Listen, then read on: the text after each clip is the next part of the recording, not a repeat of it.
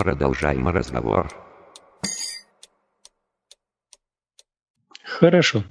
Давайте теперь к вопросам перейдем. Итак, первый вопрос поступил от подсолнуха. Как определить, под какой планетой родился человек? Что касается определения планеты, на эту тему есть э, в, собственно, Академии времени, которую я представляю, также в данном случае, есть э, серия мастер-классов. Кроме того, это даже бесплатные мастер-классы. Ну, впоследствии, я думаю, мы сможем как-то согласовать эти моменты. Но это, так сказать, тема еще дополнительно, да, дополнительной э, лекции и, наверное, даже видеолекции, поскольку там не, необходимо наглядные, наглядные примеры для того, чтобы понимать, как идет расчет. Ничего сложного в этом нет, но, тем не менее, э, есть ряд нюансов, которые просто только лишь посредством голоса ну, будет достаточно сложно передать. Понятно, идем дальше. Святослав. У меня Солнце в 12 доме и период Раху. Астролог сказал, что нужно мне много соблюдать аскез и что важно практиковать духовные практики. Порекомендуйте, пожалуйста.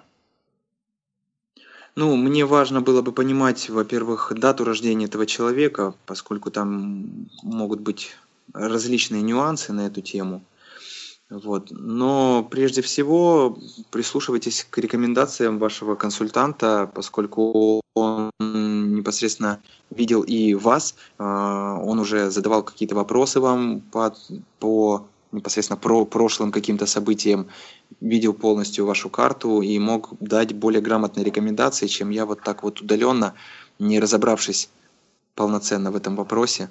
Но что касается а, что касается духовных практик, то да, это обязательно, поскольку это является хорошим методом для того, чтобы отрабатывать карму. На эту тему тоже можно много рассказать, но я так вкратце обозначу. Когда человек занимается той или иной духовной практикой, не имеет значения, какой конфессии, а, в какой конфессии эта практика. А, суть в том, что мы погружаем свое сознание – мы знакомимся с собой, мы погружаемся глубоко в себя, мы погружаемся в познание Вселенной, Творца. И в эти моменты мы, э, концентрируясь, успокаиваем, во-первых, свой ум. Посредством этого мы более э, тонко соединены, э, становимся соединены со Вселенной. И поэтому получаем лучше какие-то ответы, более ясные, более четкие. Кроме того, духовная практика способствует э, воспитанию в нас каких-то качеств. Э, человеку в духовной практике приходит, как правило, откровение, которое дает понимание той или иной ситуации. Человеку в духовной практике приходит понимание того, что э, этот мир, он максимально благоприятен для моего развития, для меня, человеку в практике приходит большое количество информации, знания, и в том числе и понимание себя, в том числе и понимание себя и того, почему я реагирую так или иначе на эту ситуацию, и какие эмоции во мне играют. Посредством духовной практики мы можем работать с эмоциями, а это в том числе очень важно. Тем самым гармонизировать свою собственную судьбу. Хорошо, Настенька из Сан-Диего, вопрос в эфир здравия. В данный момент готовимся к третьему ребенку. Может ли, можем ли мы сами рассчитать благоприятную дату зачатия? Где найти информацию, что поможет разобраться? Или обратиться к специалистам? Можете посоветовать. Благодарю вам. Очень интересно и важно то, о чем говорите для нас именно сейчас. Вот, прекрасный вопрос. Что касается самостоятельного расчета даты зачатия или благоприятного периода для зачатия, так называемые мухурты, а, я бы рекомендовал все-таки, а, если, конечно, вы уже, ну, тут вопрос, вопрос какого-то уровня знаний, если есть какой-то уровень знаний, то в целом можно, можно изучать и самостоятельно, но для такого ну, достаточно ответственного шага, я бы рекомендовал обратиться к э, специалисту. На самом деле это даже не, не очень дорого э, стоят такие консультации и, в принципе, большого времени не занимают для того, чтобы подобрать более благоприятный период. для непосредственно зачатия ребенка, в том числе получить рекомендации. А, если мои контакты как-то будут обозначены, то вот э, можно прям мне написать, и я дам рекомендации кому обратиться. Сам лично я не рассчитываю именно, именно вот благоприятный период для зачатия, я немножко по-другому работаю, но тем не менее могу обозначить более-менее там благоприятный период в, в течение года, в этом году, либо там в следующем. Но более конкретные даты это уже ну, к немножко другому специалисту, к моему коллеге, которого я смогу рекомендовать. Ну, ты можешь обозначить, как тебя найти, в каких там соцсетях или а, сайтах, или что-то еще? Да, да. Ну, э, к сожалению, с сайтом пока все несколько неоднозначно, а в соцсетях меня можно найти как в Фейсбуке, ВКонтакте, в Инстаграме. А, если написать после э, слэша Астра Коуч 108. Понятно, идем дальше. Угу. Ну, либо просто набрать в поиске Игорь Селенок, и моя страница достаточно, так сказать, в, и в Яндексе, и в Гугле она активна и открыта, поэтому легко мне можно найти. Идем дальше. Вопрос эфира от Владимира Изматич. Здравия, Игорь. Есть точка зрения, что смерть чем-то похожа на хищника, который, не желая особо труждать себя охотой на добычу в поле, устраивает засады, так сказать, на тропках к водопою. Не кажется ли вам, что вот эти закодированные числа, даты, судьбы планеты, тонкоматериальность и подобное – это широкая тропа к водопою? Здравия, Владимир. Да, благодарю вас за этот вопрос.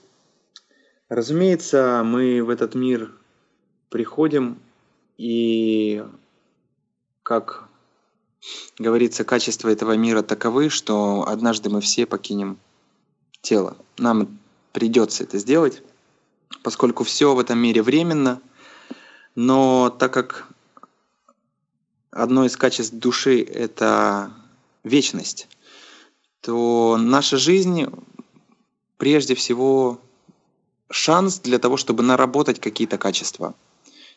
Если же мы развиваемся в этом направлении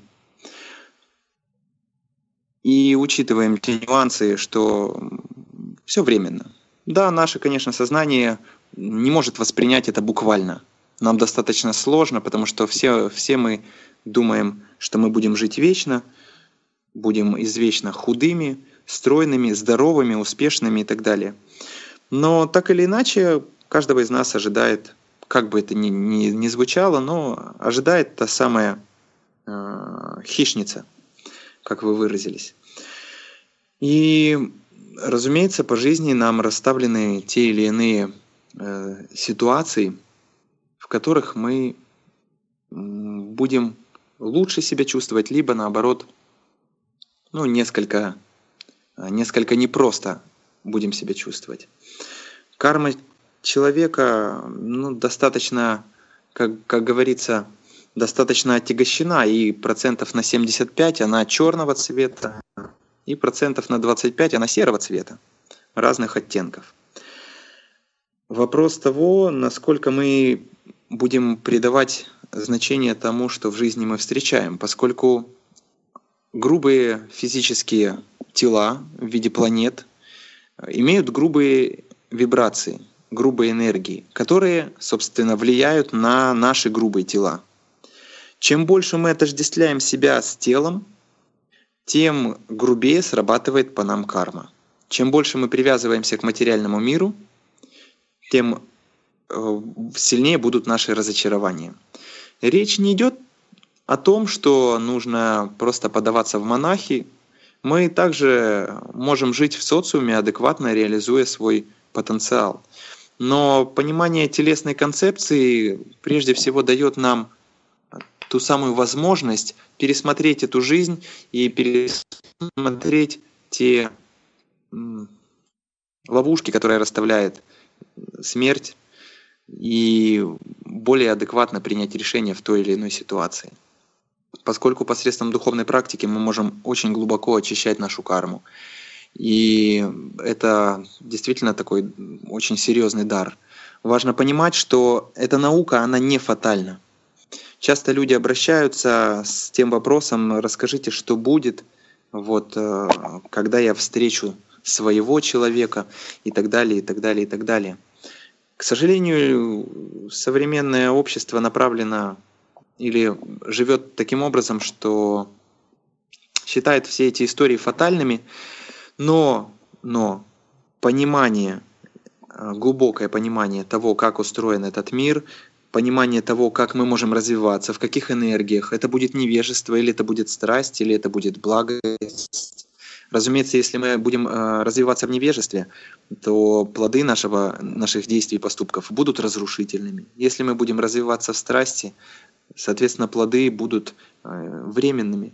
Если мы будем развиваться в благости, то и плоды будут долгосрочными. И человек, который развивается в благости, Вселенная — это счастливчик, потому что Вселенная способствует тому, чтобы он максимально, максимально реализовывался. Потому что это та личность, которую, так сказать, сами божественные энергии продвигают в этой жизни. Можно привести, опять же, пример а, своего учителя, который рассказывал однажды о э, людях-законниках, Посмотреть на то, как живут эти люди, нам становится понятно, потому что, к сожалению, многие из них э, живут очень короткую жизнь. И если так более глубоко посмотреть, достаточно напряженную жизнь. Но человек, который заботится об окружающих, Вселенная благоприятствует его развитию, благоприятствует его жизни. Вселенная о нем заботится – как я же сказал, этот мир зеркален. Если мы э, выстраиваем свое отношение к этому миру с позиции отдавать, то автоматически, постепенно люди, которые нас окружают, они сами входят в это умонастроение. Они хотят отдавать. Нас начинают окружать все больше тех людей, которые хотят отдавать. Люди, которые хотят чего-то получить, все меньше и меньше встречаются нам на пути. Но если же я живу в позиции получить максимально – то есть потребительское умонастроение, то автоматически Вселенная дает мне индикатор того, что этот мир хочет от меня только каких-то э, благ, как, как, каких-то моих, какого-то моего внимания, ресурсов и так далее. Все зависит от нашего умонастроения. Ну mm-hmm. вот как-то так я отвечу на этот вопрос. Хорошо, идем дальше. Виталий Микеров, реплика в эфир из Ютуба. В нашем мире душа сама пишет человеку судьбу совместно с богами и Богом. Так что дата рождения, конечно, влияет на судьбу, но не так сильно. Ну, как я уже обозначил, это не фатальный мир. Да, это не фатальный мир. Благодарю, кстати, за вопрос. Я, это мир, в котором мы можем развиваться и в какой-то степени действительно переписывать судьбу. Бывают жизненные ситуации, которые человеку необходимо пережить, но очень многое зависит от, от его умонастроения и того вектора, в котором он будет развиваться. Да, душа действительно пишет свою судьбу посредством наработки каких-то качеств и поступков. Ведь что такое карма? Карму можно очень легко интерпретировать через понимание эмоций. Если я э, в каких-то обстоятельствах являюсь причиной эмоции у другого человека, то по всем законам этого жанра эта личность однажды станет причиной эмоций, такой же эмоции у меня. Будут другие декорации, может быть, другое время, другое воплощение. Часто бывает даже в этом воплощении. Но я обязательно буду переживать, обязательно буду переживать ту же эмоцию. Поэтому в том числе можно сказать, что мы сами пишем свою судьбу сейчас на будущее. Это будет также действительно верным. Но угу. понимание того, какие действия выполнять или не выполнять, дает нам возможность сделать нашу судьбу более благоприятной для нас же. Понятненько. Идем дальше. Баян. Вопрос в эфир. Что означает, если Земля, в скобочках планета, во время рождения находится в обратном движении, в скобочках реверс? Ну, это уже несколько такой формат э, а, а, астро астрологически профессиональный. Не хотелось бы сейчас в рамках такой очень-очень любительской лекции погружаться в эти а, области. Можно, ну, так сказать, посещать. В этом направлении я рекомендовал бы посещать э, специализированные курсы. Понятно. Ну, не хотелось бы и не надо. Идем дальше. Анастасия Благодарю. Крупенина. Вопрос из Ютуба. А что автор-сказитель может сообщить о нашей славянской традиции звездочтения? Спасибо. А, благодарю. Хороший вопрос. Но что касается славянской традиции, здесь я не имею как какого-то конкретного ответа, поскольку именно вот э, в славянском направлении я не изучал. Но как говорит ведическая культура, а, если даже мы коснемся такого понимания, как э, психотипы или варной э, личности, то все это единая система. И в ведической, так сказать, индийской, да, ведической культуре индийской, и в ведической славянской культуре – огромное количество совпадений. Ну, если очень сильно глубоко копать, даже несмотря на то, что информации сейчас в этом направлении достаточно, если глубоко копать, можно находить огромное количество совпадений, что, собственно, наталкивает на, как минимум, на рассуждение о том, что это единая, единая система, лишь с какими-то частными бывает частными случаями расхождения. Поэтому так, так как мы все рождаемся на этой планете, так как мы все наделены телами, мужскими или женскими, так как мы все рождаемся в тот или иной период, а, в момент появления ребеночка на свет, комбинаторика планет на небе, их положение запечатляет ту самую карму души, которая воплощается. А вопрос традиции здесь ну, я, по крайней мере, не, не, не особо учитываю, поскольку я обучался ведической традиции, в, в индийской традиции.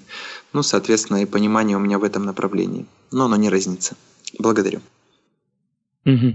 Хорошо, дальше. Настенька из Сан-Диего. Вопрос в эфир. Очень часто в течение дня вижу на часах циферблата одинаковые числа. Это какой-то знак? Нужно ли обращать внимание, подмечать такие ситуации? Благодарю. Благодарю, Анастасия.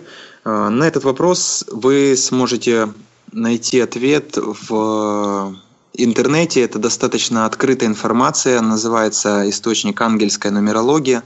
И действительно посредством а, различных чисел, в том числе на циферблате, номера домов, машин – и так далее, и так далее, и так далее. То, что мы встречаем, и те какие-то наши решения или наши идеи, которые мы э, желаем реализовать, э, они находят подтверждение от Вселенной. Поэтому вы можете смело набрать в любом поисковике ангельская нумерология и перейти непосредственно на ресурс, на котором представ, в котором представлена вся подробная информация на ваш вопрос. Благодарю. Это, в принципе, очень полезно. Я сам достаточно часто руководствуюсь именно этой информацией. И ну, могу дать свое подтверждение, прям очень-очень-очень помогает по жизни. Угу. Дальше Лиана Мхова, реплика в эфир из Ютуба. Как можно научиться слушать свою интуицию? Ведь, как правило, мы все все делаем наоборот. Ну, Здесь важно понимание того, что человек называет интуицией. Интуиция, как правило, это первая мысль, которая возникает. А, ученые даже проводили исследования порядка 0,3 секунды. Да, вот это та первая мысль. Дальше идет уже логическое размышление. Но, как я уже сказал, любые виды духовной практики, йога, цигун, тайцзи, медитация, там, мантропение, молитва и так далее, и так далее, и так далее – Любые виды духовной практики направлены на повышение концентрации, направлены на единение со Вселенной. И посредством этого мы можем, так сказать, продлевать вот этот диапазон того, когда мы находимся в контакте. Кроме того, важно понимать, что когда с нами говорит Вселенная, то есть срабатывает интуиция, нам ну, мы чувствуем воодушевление. Неважно в каком это аспекте, в предупреждающем а, о каком-то негативном э, событии, либо в предупреждающем о каком-то положительном, или просто направляет куда-то. Мы всегда чувствуем ну, некоторое воодушевление внутреннее, вплоть иногда даже до каких-то мурашек. Поэтому можно можно прежде всего при, прислушиваться. Для людей, у которых, как я уже обозначил, сильно проявлена Луна, Раху и Кету, для них э, в том числе, в том числе очень важно прислушиваться к интуиции. Но развивать это мы можем посредством успокоения нашего ума, а сделать это можно различными духовными практиками, либо в том числе творческое проявление. Ведь в момент творчества человек находится в любви, то есть находится в единении со Вселенной и Творцом. Поэтому это тоже можно в какой-то степени отнести к некоторой практике. Угу. Татьяна Беленко, вопрос эфир. На положение каких планет вы смотрите в первую очередь, если требуется определить задачу человеку, человека на текущее воплощение? Благодарю, Татьяна, за вопрос. Так как я являюсь э, астрономерологом и хиромантом, я смотрю, какие проявлены в комбинаторике даты рождения планет и смотрю основные знаки и линии на руках. Поскольку если говорить о подходе нашей школы, то он как раз-таки заключается в том, да, или его уникальность заключается в том, что мы подходим комплексно, поскольку а, каждая система может давать тот или иной сбой по отдельности. Но если мы берем в расчет и хирологию, то есть э, знаки и линии на руках, и дату рождения, и положение планет, то в этом случае и коэффициент считывания повышается, и, соответственно, более грамотные рекомендации мы можем дать человеку, который к нам обратился. Угу. Лиана Махова, вопрос эфира из Ютуба. Атеистам быть позорно или нейтрально? Ну, почему позорно? Я считаю, что каждый человек сам вправе выбирать. Ведь у всех у нас есть это священное право. Даже Господь нас не лишает этого права. Поэтому ничего позорного в этом нет, лишь только то, что Вселенная вам напоминает. В этом случае, что я вам могу рекомендовать? Как минимум в качестве духовной практики, либо альтернативы духовной практики можно э, использовать аффирмации – есть э, прекрасный метод для того, чтобы работать в том числе с какими-либо конфликтами, который, ну, в какой-то степени также можно отнести к духовной практике. Метод называется хоппонопона, об этом достаточно много рассказывали, в том числе и западные специалисты, исследователи. Вот. Э, это гавайский метод э, прощения, проработки обид и понимания каких-то жизненных ситуаций. Он, разумеется, подразумевает в какой-то степени на наличие Творца, кармы и так далее, но, тем не менее, не привязывает вас никакой из конфессий. Ну, если вопрос стоит вот так.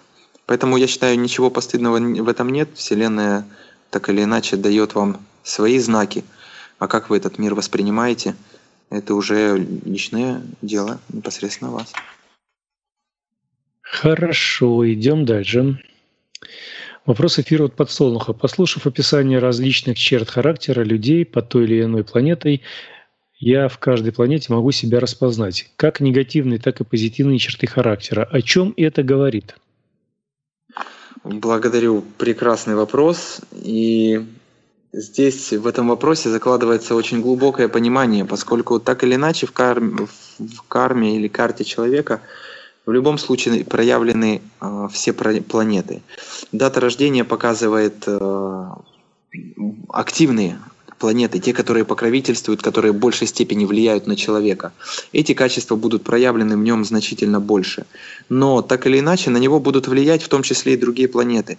Каждая планета, она кроме того, что дает какие-то качества, она еще и курирует сферу деятельности, какую-то область жизни. Опять же, например, солнышко – это отношения с отцом, это ответственность. А, Луна, отношения с матерью, забота и э, женская энергия. И, разумеется, и Солнце, и Луна будут влиять на человека, потому что у каждого из нас, несмотря на то, как они там могут стоять в карте его натальной, либо непосредственно там в, в астро, нумерологической матрице или комбинаторике, вопрос того, что каждый из нас имеет родителей, у, каждого из нас есть какие-то отношения с родителями. А остальные нюансы это уже аспекты того, насколько мы развиваем те или иные качества в своем характере. Но вот тут момент того, что действительно на каждого человека влияют все планеты, но более ярко а, какие-то планеты ему покровительствуют в зависимости от той даты рождения, в которую он как душа воплотился. Угу. Так, смотрим еще. Вопросы, вопросы от Владимира Измытищ. Игорь, каково, а, наверное, если место тому занятию, представителем которого вы являетесь, грядущем новом общественном и технологическом укладе на планете? Вы знаете, э, Владимир, есть э, сейчас достаточно такая актуальная, актуальная мысль о том, точнее даже не мысль, а идея, которая сейчас пестрит все вся э, структура средств массовой информации и так далее. Это четвертая технологическая революция или промышленная революция, которая говорит о том, что вскоре а, роботы заменят а, человека, да, искусственный интеллект постепенно внедряется. Все-таки мир, как бы это было не прекрасно или печально, но идет по технологическому развитию в большей, в большей степени.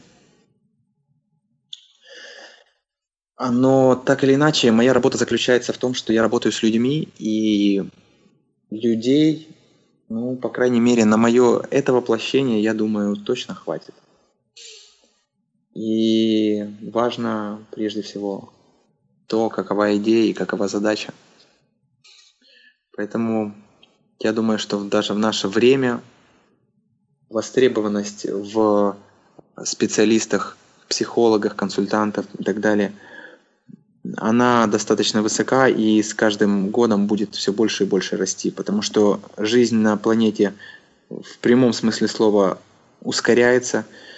Э, мы все куда-то стремимся, мы все хотим реализовать какие-то свои задачи.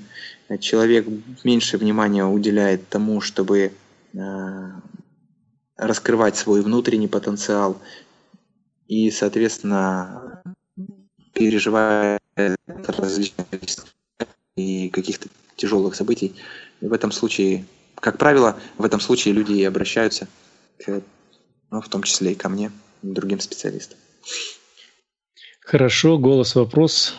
Голос так себя представил человек. Вопрос эфир из Ютуба задает. 27 мая родился Платон и Камо, экспроприатор Ленина. Один философ, а другой разбойник. И ничего общего. Почему?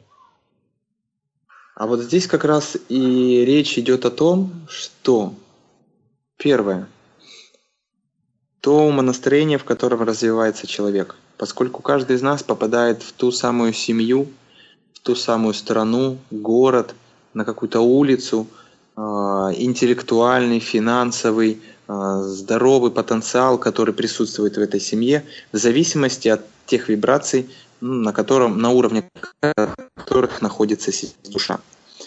И, соответственно, и задача такая у души, да, повысить тот самый уровень вибраций. Но если человек идет по течению своей, своего окружения, по течению того общества, то рано или поздно, как говорится, в течении мы встретим водопад. И если же мы расслабленно плывем по течению, мы перестаем тренировать даже банально на нашу, наш мышечный корсет. И когда мы уже заметим тот самый водопад, быть может, будет очень поздно, чтобы просто выплыть на берег.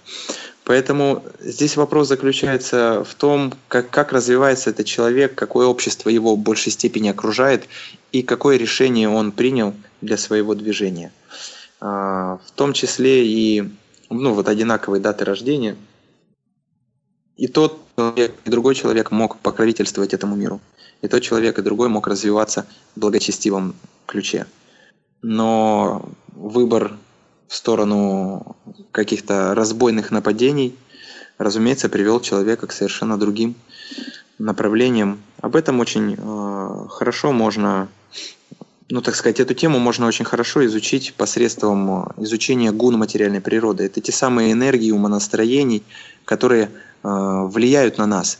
И посредством этих энергий мы можем развивать те или иные качества, даже имея одну и ту же дату рождения, даже в одной личности на протяжении жизни. На этом Понял. Идем дальше. Тимофей, вопрос эфир. Как может повлиять на карму человека то, что он родился на стыке лет, эпох? Ну, например, 31 декабря 89 года. Ну, если еще человек, например, родился и ночью, то там вообще может быть хорошее такое смещение – и в этом случае на человека могут влиять немножечко энергии прошлой даты и отражаться в его качестве характера, и будущей даты. Ну, то есть пограничная такая дата рождения, она всегда дает человеку больший потенциал, как правило. Потому что чем больше э, в дате, например, комбинаций, тем больше у человека проявлено качеств тех планет, тем ярче они проявлены. Да, это может, конечно, ограничить с тем, что человеку сложнее определиться в деятельности, например, больше у него каких-то талантов и больше сфер жизни его привлекает, но здесь вопрос выбора. В целом влияет э, ну, точно так же, как и любая другая дата рождения. Ничего прям слишком какого-то такого сверхъестественного в этом нет. Такова карма человека. В один день рождаются и миллионеры, и, к сожалению, люди в семье самых, ни, ни, ни, самых низких слоев населения в одну и ту же дату. Но все приходит, во-первых, нам по индивидуальной карме, а во-вторых, еще зависит от того, каким образом мы будем развиваться. Потому что часто, например, благочестивая душа рождается в семье, людей, которые морально, ну так сказать, деградировали. И такая душа приходит для того, чтобы вытянуть их, для того, чтобы спасти их. Либо бывает наоборот. В очень интеллигентной, благочестивой э, семье рождается невежественная душа. Для того, чтобы углубить их духовную практику, углубить их развитие и тем самым вытянуть эту душу на тот уровень, а, божественных, так сказать, энергий. Хорошо. Вопрос несколько неоднозначный, но право выбора всегда есть у нас. понятно. Вопрос эфир от Елены Рыбаковой. Влияет ли как-то на трактовку гороскопа уровень развития личности? Человек, людина или кто-то еще? Ну, в любом случае будет влиять на трактовку гороскопа и его уровень развития, поскольку можно будет сказать более точно э, о том, что человек ожидает. Как я уже обозначил, что это не фатальная наука, это наука необходима прежде всего для того, чтобы, ну и так сказать, опять же, в древние времена она была очень распространена. Люди без консультации астролога, а, они не, не делали каких-то лишних движений, они понимали, что это достаточно, так сказать, сто, стоящие рекомендации.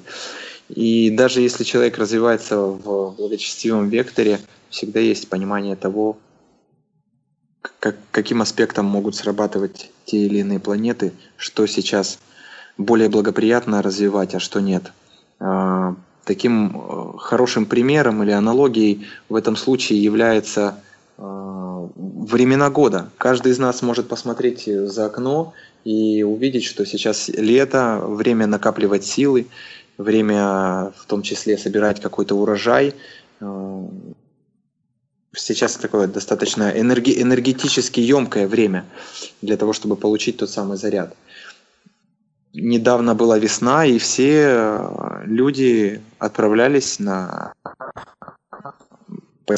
все люди засаживали огороды, но зимой никто не, сажает картошку, не сеет семена, потому что это бессмысленно.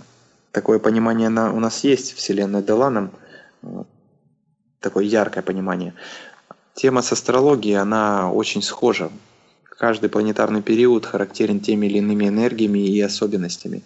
И, соответственно, мы прежде всего понимаем, что более благоприятно сейчас для человека, а что менее благоприятно.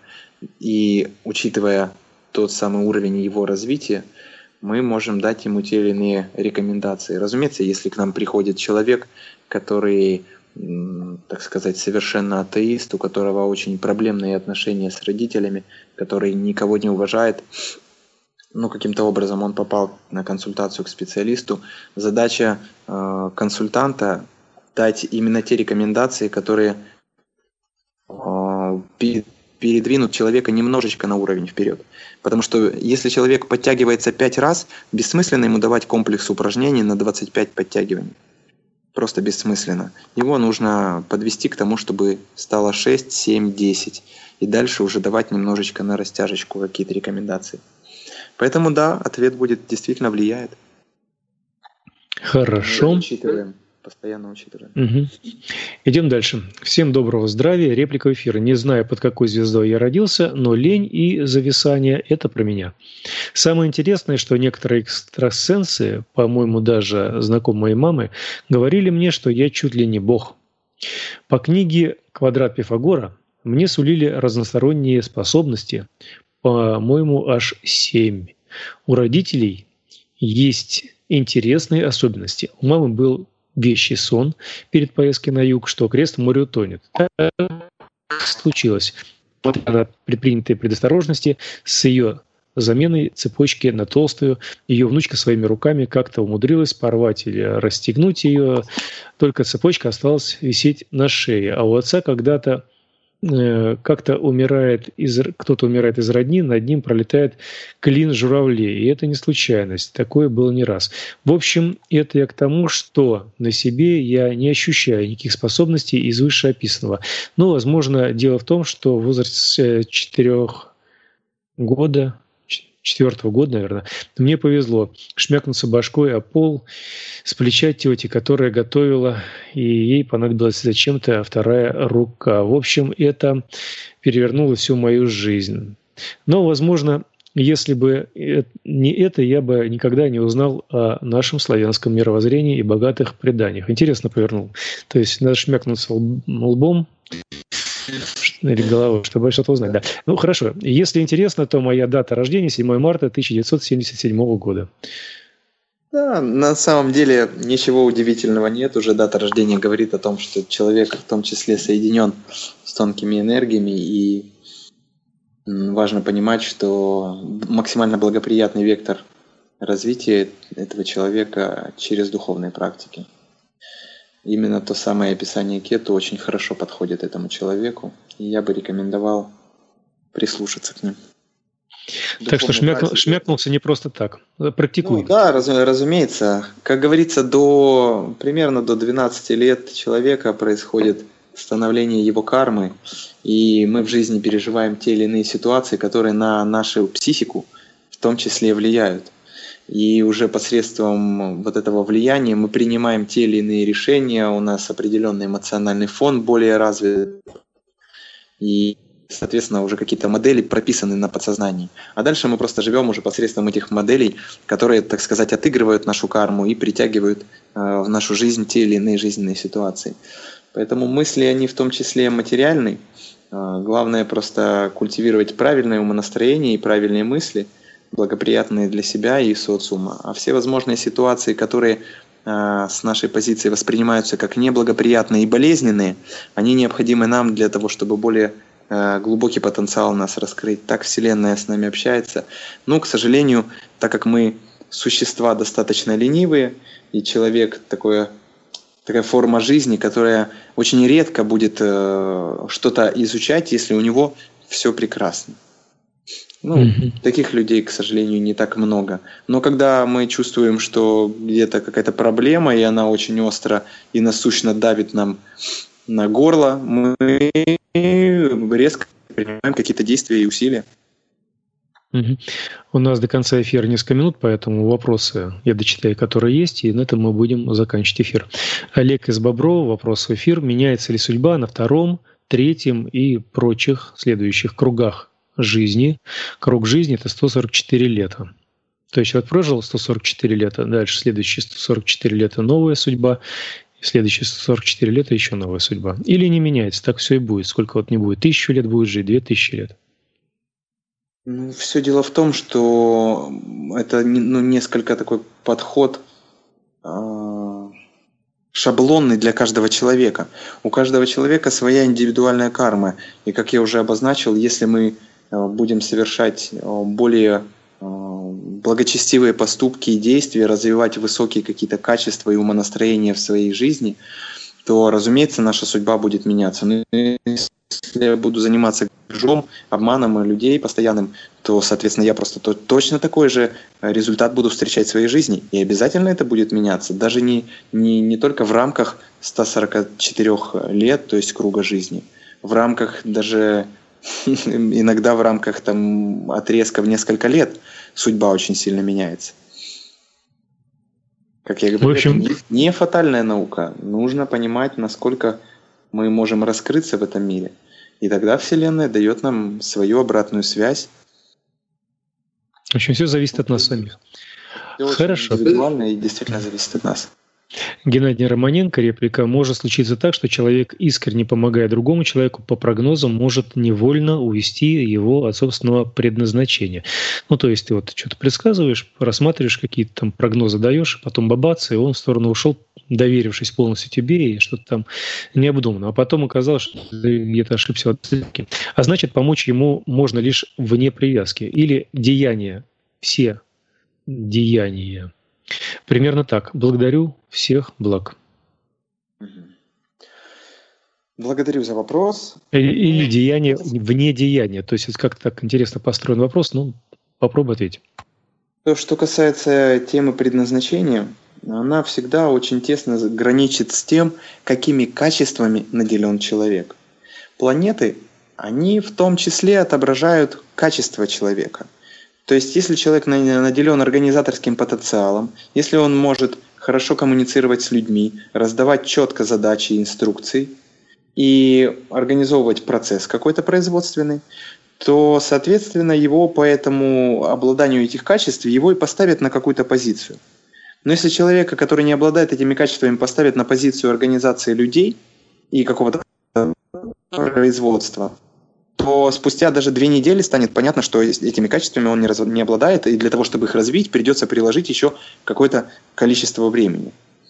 Посредством диагностики да, и анализа э, того влияния планет на человека, мы прежде всего можем выявлять те качества, которыми он наделен.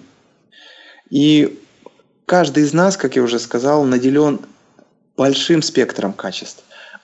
Ну, очень редко бывает в этой жизни так, что вот просто кого-то Вселенная обделила. Просто вот там посмеявшись и наделила его всего лишь одним талантом. Очень редко бывает. Вопрос того, какой талант этот человек развивает на, на протяжении жизни и в каком, скажем так, развитии он пришел к консультанту, на, на каком этапе.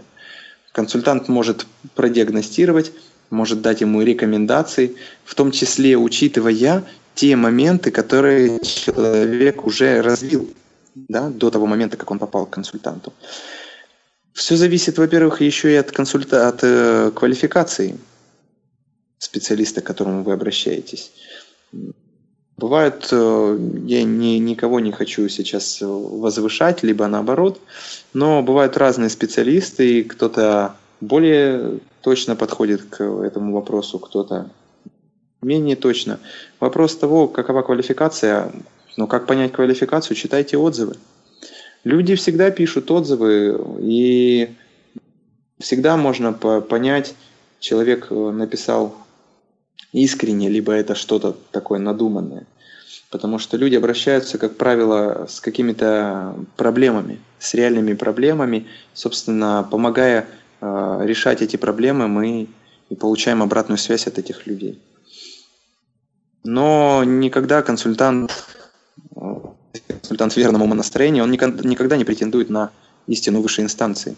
Он дает рекомендации, руководствуясь определенными писаниями, руководствуясь в том числе каким-то своим жизненным опытом, который он реализовал. А, и уже посредством этого может дать рекомендации. Если консультант претендует на то, что только будет так и только вот в этом вам надо развиваться, я всегда на своих консультациях говорю, проверяйте. Не нужно верить мне на слово. Проверяйте, ставьте задачу и ставьте эксперименты, проверяйте. И точно таким же путем шел я. Я не просто верил на слово. Ну, для того, чтобы э, как-то развить какие-то качества, нужно просто какое-то количество повторений. Это как управлять автомобилем. Первая посадка достаточно сложно дается. Но впоследствии мы немножко вырабатываем сноровку и уже э, спустя месяц-два научаемся Точно так же и в любом другом направлении. Тренировка, какие-то регулярные повторения помогают нам развивать качество, в том числе наш жизненный потенциал. Но Вселенная всегда все закрутит таким образом, чтобы человек э, пришел к своему потенциалу. Если его приводят к консультанту, то это говорит о том, что ему необходим в том числе какой-то опыт.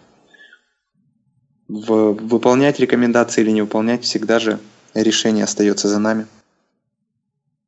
Угу. У тебя еще время есть отвечать на вопросы или да, будем еще заканчивать? где-то 10 минут я готов. Хорошо. Браун из Ютуба. Как влияет число жизни на тело человека, цвет, глаз, фенотип? Что вы знаете про мудры и связь через них со стихиями? Ну, дата человека прежде всего показывает, как я уже обозначил, влияние планет. А посредством этого можно отследить какие-то энергии. Но что касается именно тела человека, то это вопрос такой отрасли, как э, аюрведа и, если более глубоко, доши, да, именно конститу, конституция.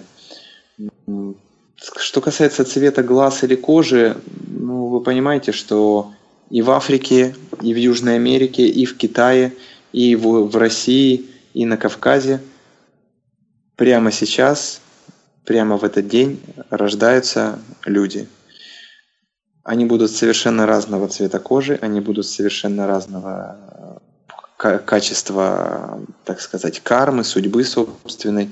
Разные будут у них проявлены, там, кто-то более склонен к полноте, а кто-то наоборот стройный достаточно. Тут таких моментов э, не проявлено, так сказать.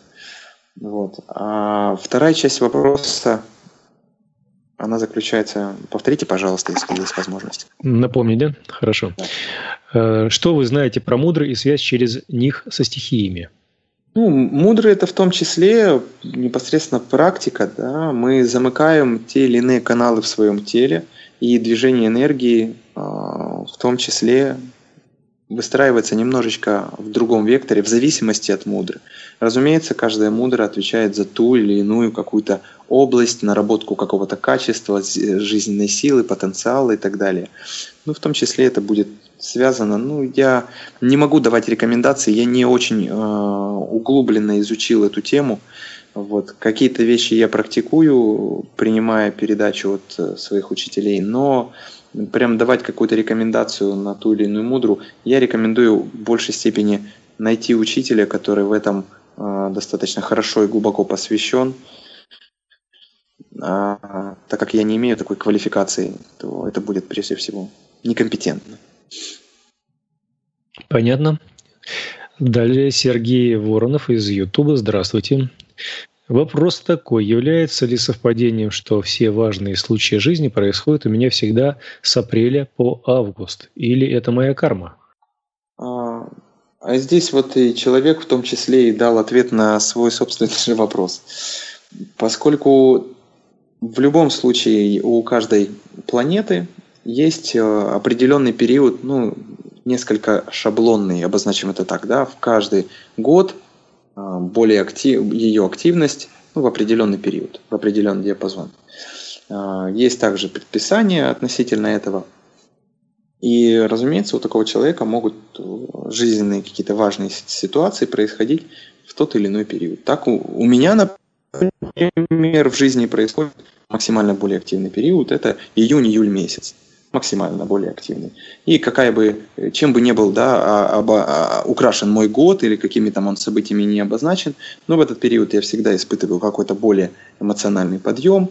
Э, несмотря на то, что лето это, где бы я ни находился, я всегда ну, как-то более а, активно себя веду, чувствую и проявляю. Вот. Поэтому и это же является еще и кармой, поскольку планеты, они лишь отражают наше сознание, они отражают нашу карму и тот примерный событийный план, который мы в жизни встречаем. Активность, приобретение недвижимости, там, транспортных средств, переезды, а, начало отношений, разрыв отношений, там, например, рождение детей ну и так далее. Какие-то вот такие события мы можем э, смотреть, анализировать, диагностировать и уже посредством этого давать рекомендации.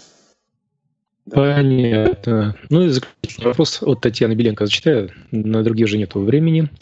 Какие планеты показывают духовный потенциал человека? Можно увидеть степень развитости души, а опыт накопления за прошлое воплощение планеты каким-то своим особым состоянием показывают нам? Благодарю. Три вопроса в одном. Благодарю, да, за такой прям содержательный вопрос.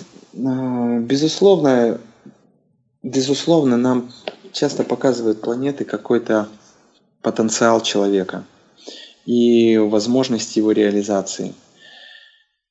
Но важно понимать, что каждый человек принимает то или иное решение. И я могу противиться своей природе целиком и полностью и, соответственно, не, не соответствовать ей и развиваться в другом направлении. Таким образом, Вселенная будет давать обратную связь. Всегда будет давать обратную связь.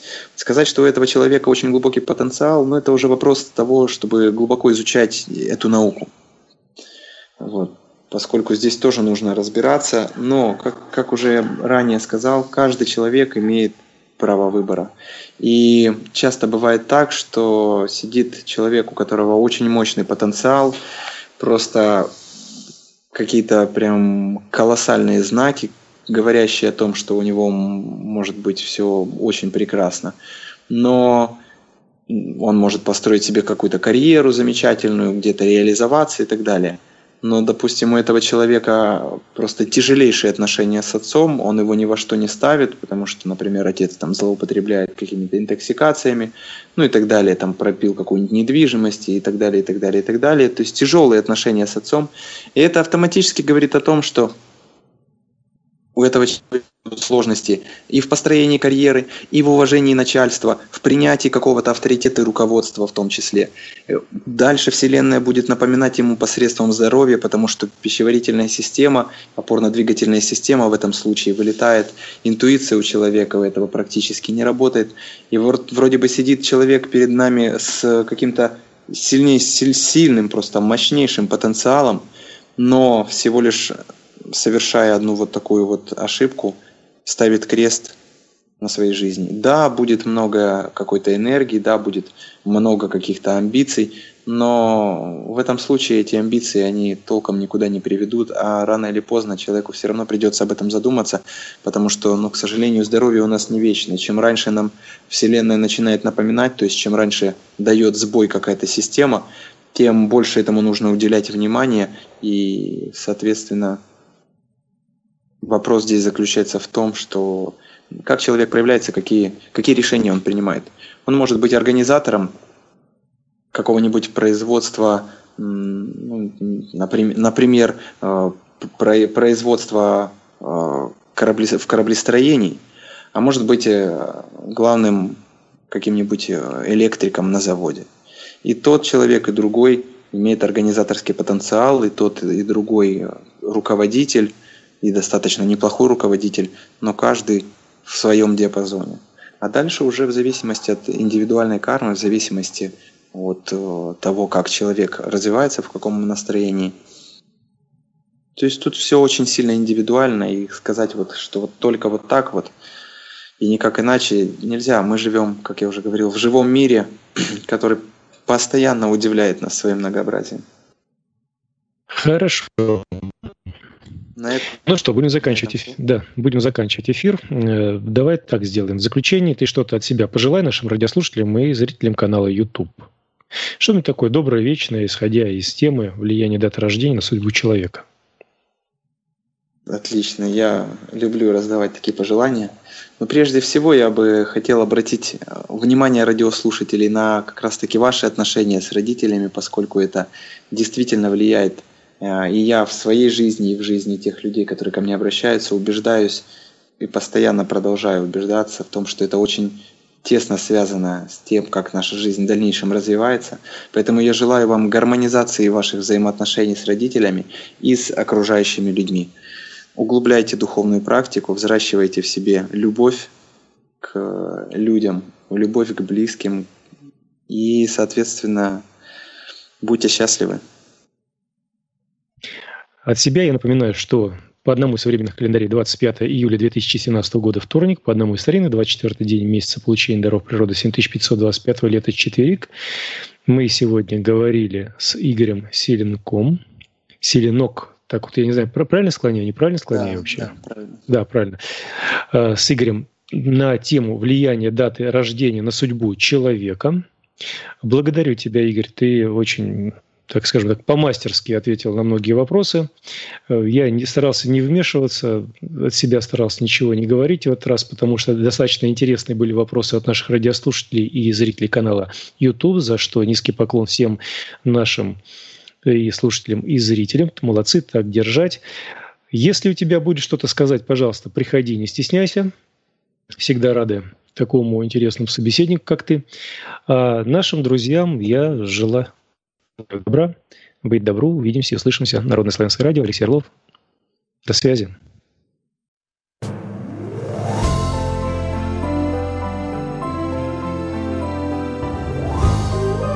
Народное славянское радио. Все нужно, все важно.